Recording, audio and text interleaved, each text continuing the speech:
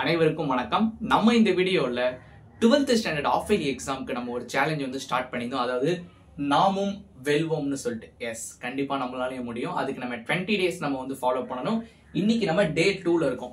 So நேற்று challenge பார்த்தீங்கன்னா நிறைய பேர் கம்ப்ளீட்டட்னு சொல்லியிருந்தீங்க. ஸோ டெலகிராமில் தான் நிறைய பேர் சொல்லியிருந்தீங்க. பட் நான் என்ன உங்களுக்கு சஜஸ்ட் பண்ணுவேன்னா நீங்கள் யூடியூப் கமெண்ட் செக்ஷனில் நீங்கள் வந்து போடுங்க. இப்போ டே டூ இன்னைக்கு வீடியோ பார்க்குறீங்களா? இன்னைக்கு சேலஞ்ச் முடிச்சோன்னா இந்த கமெண்ட் செக்ஷன்லேயே நீங்க வந்து போடுங்க. நான் சேலஞ்ச் முடிச்சிட்டேன். ஏன்னா majority of the people YouTube தான் பாக்குறாங்க நிறைய பேர்கிட்ட டெலகிராம் இல்லாததுனால. ஓகேவா அண்ட் ஆல்சோ இந்த சேலஞ்ச் பத்தி உங்க ஃப்ரெண்ட்ஸ் எல்லாருக்குமே வந்து ஷேர் பண்ணுங்க. அவங்களுக்கும் ஹெல்ப்ஃபுல்லா இருக்கட்டும். இல்ல நீங்க குரூப் ஸ்டடி மாதிரி பண்ணணும்னு நினைக்கிறீங்கன்னா ஒரு அஞ்சாறு பேர் செட் ஃபார்ம் பண்ணிக்கோங்க. ஃபார்ம் பண்ணிட்டு எல்லாரும் சேர்ந்து இந்த சேலஞ்ச் படிங்க. ஓகேவா ஓகே இன்னைக்கு சேலஞ்ச் பாத்தீங்கன்னா நம்ம எல்லா சப்ஜெக்டும் நம்ம வந்து பார்க்க போறோம். நேத்து சேலஞ்சோட கண்டினியூட்டி சில இது இருக்குது. ஸோ எடுத்தோன்னு நம்ம தமிழ்ல இருந்து ஆரம்பிக்கலாம். நேற்று என்ன பண்ணியிருந்தீங்க? இயல் ஒன்னுல இருந்து இயல் நாலு வரைக்கும் உங்களுக்கு மனப்பாடம் படிக்க சொல்லியிருந்தேன். ஆல்ரெடி நிறைய பேர் படிச்சிருப்பீங்க. நம்ம ஆஃப் எக்ஸாம்னும் போது நிறைய எக்ஸாம் எழுதிருப்பீங்க ஜஸ்ட் ரிவிஷன் பண்ற மாதிரி தான் இருக்கும். பட் இருந்தாலும் மனப்பாடம்ன்றது கண்டிப்பா உங்களுக்கு எக்ஸாம்ல வந்துடும் ஆறு மார்க்கு கேட்பாங்க. அதனால தான் நம்ம இவ்வளோ பொறுமையா போறோம். எல்லாருமே படிக்கணும்னு சொல்லிட்டு. ஸோ நீங்க நேற்று இயல் நாலு வரைக்கும் படிச்சிருப்பீங்க. இன்னைக்கு அதனுடைய கண்டினியூட்டி இயல் அஞ்சு தெய்வமணி மாலையிலேருந்து ரச்சனை யாத்திரிகம். ஃபுல்லா இயல் எயிட் வரைக்கும் முடிச்சிருங்க. ஓகேவா நடுவில் திருக்குறள் இருக்கும். திருக்குறளையும் சேர்த்து படிக்கணும். ஓகேவா திருக்குறள் படிக்கும் போது ஸ்டார்டிங் எண்டுலாம் கொஞ்சம் ஞாபகம் வச்சுக்கோங்க. என்ன? ஏன்னா இப்போ சினம் என முடியும் குரல்னு கேட்டால் நிறைய திருக்குறள் சினம்ல முடியறதுக்கு வாய்ப்பு இருக்கு.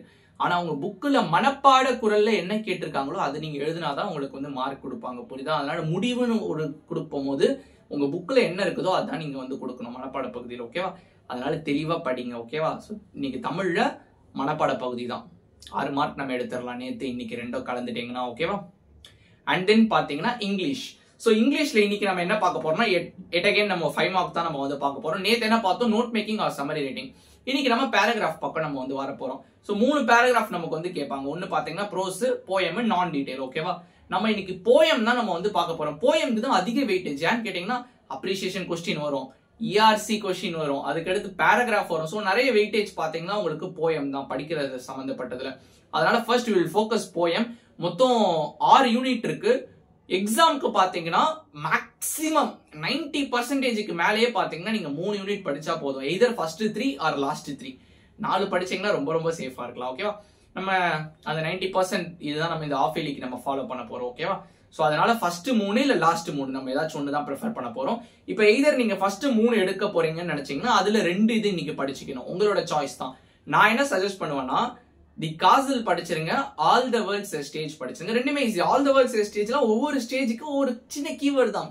அது நீங்க அப்படியே சென்டென்ஸா எழுதிட்டீங்கன்னா வேலை முடிஞ்சது ஓகேவா நடுவில் ஆர் கேஷ் நட்ரி இருக்கு. ஓகே நீங்க எனி டூ நீங்க சூஸ் பண்ணிக்கலாம் ஓகேவா இன்னைக்கு அதான் உங்களுடைய டாஸ்க் நீங்க என்ன பண்றீங்கன்னா நிறைய கைட்ஸ்ல நீங்க பேராகிராஃப் படிக்கலாம் பட் உங்க புக்லேயே போயம பொறுத்த மட்டும் பேராகிராஃப் கொடுத்துட்டாங்க. இது எழுதுனா போதும்னு சொல்லிட்டு.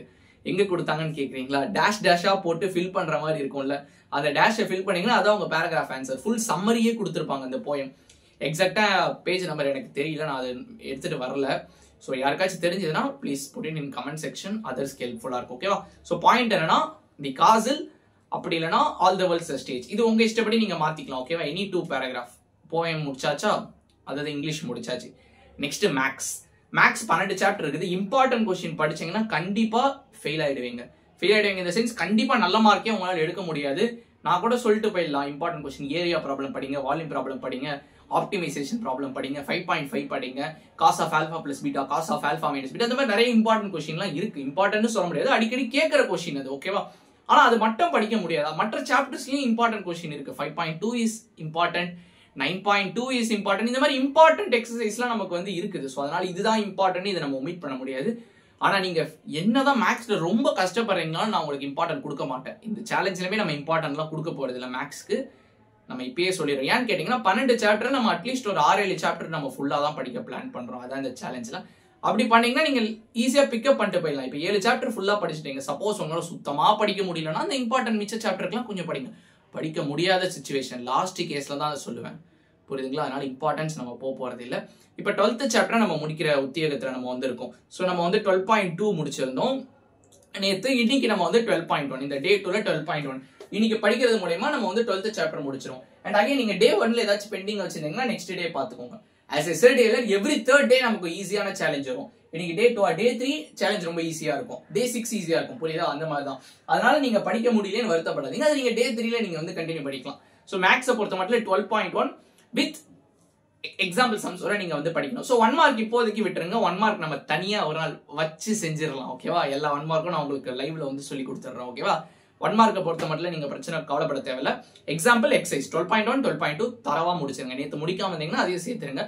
டைம் இருந்துச்சுன்னா அப்படியே ஒரு ரிவிஷன் மாதிரி கொடுத்துருங்க டுவெல்த் சாப்டர் ஈஸி தான். நெக்ஸ்ட் ஃபிசிக்ஸ் ஸோ ஃபிசிக்ஸை பொறுத்த மட்டும் அதிக வெயிட்டேஜ் கொடுக்கறது ஃபைவ் மார்க் ஸோ ஃபிசிக்ஸ் பார்த்தீங்கன்னா நான் டுவெல் செகண்ட் சாப்டர் இன்னைக்கு நம்ம வந்து எடுத்திருக்கோம். ஒரு சில ஃபைவ் மார்க் நான் உங்களுக்கு எழுதி வச்சிருக்கேன். Microscopic model of electric current படிச்சுக்கோங்க. Wheatstone bridge very very important P by Q equal to R by S அதை நீங்கள் ப்ரூவ் பண்ணோம் and then metre bridge metre bridge பார்த்தீங்கன்னா உங்களுக்கு ப்ராக்டிக்கல் எல்லாமே இருக்கு. ரொம்ப ரேர் தான் பட் கொடுத்துருக்கேன் படிச்சுக்கோங்க. அதுக்கடுத்து பார்த்தீங்கன்னா EMF EMF of two cells using potentiometer இந்த கம்பேரிஷன் கண்டிப்பாக கேட்பாங்க. இந்த வீட் ஸ்டோனே இது ரொம்ப ரொம்ப இம்பார்ட்டன்ட் ஓகேவா அண்ட் தென் ஒரு three mark question resistors in series resistor in parallel அது டயக்ராம் போட்டு தெளிவாகி கொஸ்டின் எழுதுறீங்க ஓகேவா இன்னைக்கு இந்த கொஸ்டின் தான் நம்ம படிக்க போறோம். ஒருவேளை இதுலயுமே இம்பார்ட்டன்ட் சொல்லுங்க. ஃபர்ஸ்ட் நாங்க அதை படிக்கணும்னு நினைச்சீங்கன்னா வீட் ஸ்டோன் பிரிட்ஜை கண்டிப்பா படிச்சிருங்க. படிச்சு முடிச்சுட்டு அந்த EMF of two cells potentiometer படிச்சிருங்க. And then resistor in series and resistor as I அது த்ரீ மார்க்ல கேட்கறதுக்கான வாய்ப்புகள் தான் அதிகம். Finally microscopic model of electric current and metre bridge இந்த ஆர்டரில் நீங்கள் வந்து வந்துக்கோங்க. நான் கொடுத்த எல்லா கொஷினுமே படிச்சிருங்க. இதான் உங்களுடைய physics challenge okay next chemistry என்ன சேலஞ்சுன்னு கேட்டிங்கன்னா லெசன் நம்பர் டூ தான். லெசன் நம்பர் டூ பார்த்தீங்கன்னா உங்களுக்கு இன்சைட் கொஸ்டின் நான் எடுத்து வச்சிருக்கேன் சில கொஸ்டின் ஆனால் இன்னைக்கு நம்ம அந்த சேலஞ்சில் நம்ம பார்க்க போறதுல இன்னைக்கு நம்ம ஒன்லி புக் பேக் கொஸ்டின் தான் நம்ம வந்து பார்க்க போகிறோம் ஒரு பதினெட்டு கொஸ்டின் இருக்குன்னு நினைக்கிறேன். பதினெட்டுமே படிச்சிருங்க. அதில் பன்னெண்டாவது கொஸ்டின் ஐ திங்க் அந்த ஈக்குவேஷன் மாதிரி இருக்கும்னு நினைக்கிறேன். அது மட்டும் படிக்க முடியலன்னா பரவாயில்ல நம்ம டைம் இருக்கும் போது பார்த்துக்கலாம். இந்த டே த்ரீ நம்ம இருக்குல்ல அது ஈஸியான சேலஞ்ச் தான் அப்போ நம்ம பார்த்துக்கலாம். பட் மோஸ்ட்லி படிக்க ட்ரை பண்ணிடுங்க. அந்த ஈக்குவேஷன் ஞாபகம் வச்சுக்க சில பேர் கஷ்டப்படுவீங்க. அதுக்காக நான் சொல்கிறேன் அண்ட் நம்ம இங்கிலீஷ் நம்ம சொன்னோம் பார்த்தீங்களா பேராகிராஃப்னு அது எங்களுக்கு யாராச்சும் சொல்லி கொடுக்குற மாதிரி இருந்தால் நல்லா இருக்கும்னு நீங்க நினைப்பீங்க? எஸ் நம்ம ஆல்ரெடி டீச் பண்ணியிருக்கோம். அந்த ஃபுல் பேராகிராஃப் வார்த்தை ஒவ்வொரு வார்த்தைக்கும் நான் மீனிங் சொல்லியிருப்பேன். இந்த வார்த்தையோட மீனிங் என்ன? இந்த வார்த்தை ஏன் இங்கே வருது? அப்படியே கதை மாதிரி கடைசியாக சொல்லியிருப்பேன். அதை நீங்கள் பார்த்தாலே போதும். வீடியோ பார்த்தாலே கிட்டத்தட்ட ஆல்மோஸ்ட் படித்த மாதிரி தான் ஓகேவா அந்த மூணுத்துக்கும் நான் லிங்க் கொடுக்குறேன். Unit one unit two unit three time இருந்தால் எல்லாத்தையும் படிச்சிருங்க ஓகேவா அதான் அவங்களோட இங்கிலீஷு கெமிஸ்ட்ரியும் நம்ம வந்து முடிச்சாச்சு. ஒன்லி புக் பேக் மட்டும்தான் சாப்டர் டூ புக்கின் நம்ம இன்னொரு நாள் பார்த்துக்கலாம் ஓகேவா and then computer science computer சயின்ஸை பொறுத்த மட்டும் நிறைய பேர் கேட்பீங்க ஃபர்ஸ்ட் சாப்டர்லேருந்து நீங்கள் ஏன் ஆரம்பிக்கல? நடுவில் இருந்து ஏன் கொடுக்குறீங்கன்னு ரீசன் சொல்கிறேன் ஃபர்ஸ்ட் சாப்டரில் அவன் எடுத்தோன்னு என்ன சொல்கிறான் ஃபங்க்ஷனுன்னு ஒரு டேர்மை கொண்டு வரான். ஃபங்க்ஷன்னா என்னன்னே நமக்கு தெரியாது. அப்போ எப்படி நமக்கு ஃபங்க்ஷன் எடுத்தோன்னே படிக்க முடியும்? பெராமீட்டர்னு ஒரு டேர்மை கொண்டு வராங்க. Parameter with type without type டைப்னா என்ன? இதெல்லாம் நம்ம தெரியணும். அதே மாதிரி பார்த்தீங்கன்னா உங்களுக்கு ஸ்கோப்னு ஒரு கான்செப்ட் தேர்ட் சாப்டர்ல கொண்டு வரான். அது பைத்தான்ல செவன்த் சாப்டர் படித்தாதான் அது புரியும்.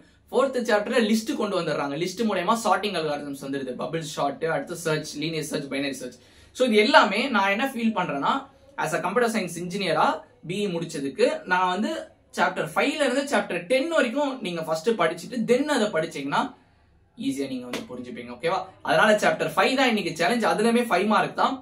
மூணு ஃபைவ் மார்க் தான் இருக்கு.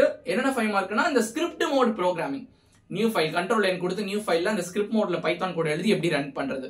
அது ப்ரொசீஜர் கேட்டிருக்காங்க. And then input and print function third question is tokens in Python இந்த செகண்ட் அண்ட் தேர்ட் கொஸ்டின் ரொம்ப ரொம்ப important input and print and tokens in Python first கொஸ்டினும் important தான். ஸோ எல்லாமே நம்ம டீச் பண்ணியிருக்கோம். டோன்ட் வரி ஸோ கம்ப்யூட்டர் சயின்ஸை பொறுத்த மட்டும் ஏ டு இசட் மெட்டீரியல்ஸ் நம்ம சேனலில் நீங்கள் வந்து பார்க்கலாம். ஓகேவா ஸோ கூடிய சீக்கிரம் அதர் சப்ஜெக்டும் நம்ம போட்டுக்கிட்டு இருக்கோம். கம்ப்யூட்டர் சயின்ஸ் முடிச்சாச்சு போர்ஷன் உங்களுக்கு வேறு எதனா வீடியோ வேணாலும் நீங்கள் வந்து கேட்கலாம்.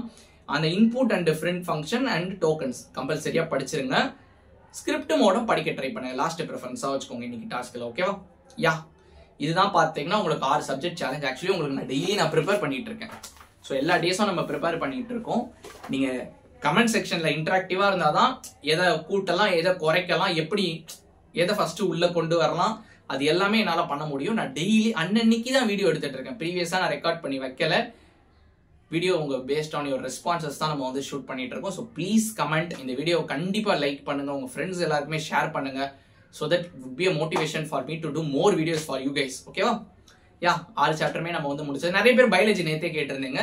ஸோ பயாலஜி பொறுத்த மட்டும் நீங்க ஓன் ஷெடியூல் போட்டுக்கோங்க. நம்ம இந்த ஆறு சப்ஜெக்ட் தான் நம்ம வந்து பார்க்க போறோம். கம்ப்யூட்டர் சயின்ஸ் குரூப்போட தான் அட்லீஸ்ட் உங்களுக்கு மெட்ரு அஞ்சு சப்ஜெக்ட் இருக்குது. நீங்க காமர்ஸ் குரூப் ஆனீங்கன்னா தமிழ் இங்கிலீஷ் மட்டும் நீங்க நம்ம சேலஞ்ச் ஃபாலோ பண்ணிக்கலாம் ஓகேவா எனி குரூப் யாராக இருந்தாலும் ஃபாலோ பண்ணலாம். ஏன்னா ஜென்ரல் தமிழ் ஜென்ரல் இங்கிலீஷ் கண்டிப்பாக எல்லாருக்குமே இருக்கும் ஓகேவா ஏன் இந்த வீடியோ உங்களுக்கு புரிஞ்சிருக்கு நினைக்கிறேன். சேலஞ்ச் அக்செப்டடா கண்டிப்பாக அக்செப்ட் பண்ணிப்பீங்கன்னு நினைக்கிறேன். இதெல்லாம் படிச்சிருங்க. படிச்சு முடிச்சுட்டு மறக்காம மெசேஜ் இல்லை டெலகிராம்ல நிறைய பேர் சொல்றீங்க. டெலகிராம் வேணா நீங்க வந்து யூடியூப் கமெண்ட் செக்ஷன்லேயே நீங்க வந்து சொல்லுங்க ஓகேவா தட்ஸ் இட் நாளைக்கு ஒரு சேலஞ்சர் உங்களை பார்க்குறேன். Until then it's by